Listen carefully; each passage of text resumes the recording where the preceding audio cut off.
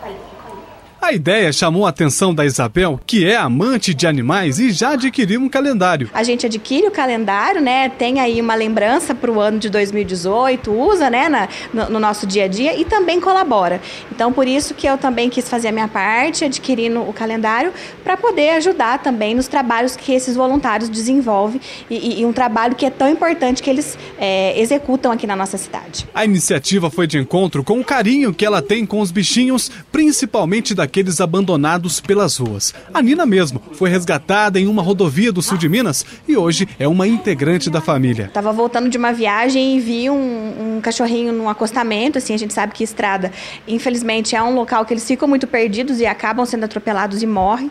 E eu não pensei duas vezes, parei o carro, peguei, trouxe ela no primeiro momento como lar temporário para ver se eu conseguia alguém que pudesse adotá-la, mas a gente vai pegando muito amor e ela acabou conquistando todo mundo aqui de casa e agora ela já faz parte né, da, da nossa rotina. É um calendário mais fofo que o outro, todos impressos com fotos de cães abandonados que viraram estrela.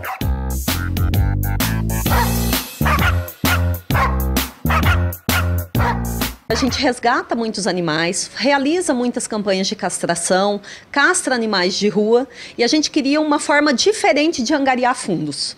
Só que associado a isso, a gente queria trabalhar a possibilidade e a conscientização da adoção. Toda a verba arrecadada com a venda dos calendários depois será revertida para projetos que resgatam cuidam dos animais de rua que depois serão encaminhados para adoção. São três projetos é, totalmente voluntários que têm o objetivo de fazer esse resgate e cada um tem um foco diferente.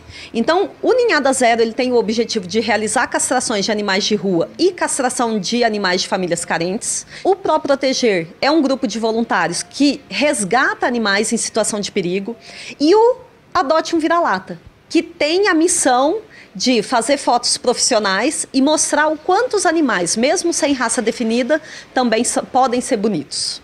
Quem quiser comprar os calendários, é, na página do Projeto Ninhada Zero, do Pro Proteger e do Adote Vira-Lata, uh, tem os 11 pontos de venda distribuídos por toda a cidade. É só comparecer, cada calendário custa 10 reais e toda ajuda é extremamente importante.